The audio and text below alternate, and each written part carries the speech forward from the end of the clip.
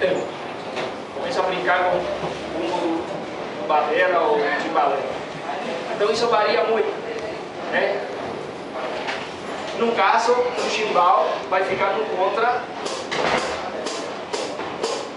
ou vai ter a clave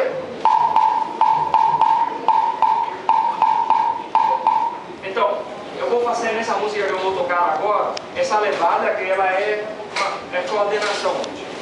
Coordenação, porque normalmente é feita lá com dois, três percussionistas, como eu trabalho assim, já vou juntar as, as, as outras coisas. Vai ficar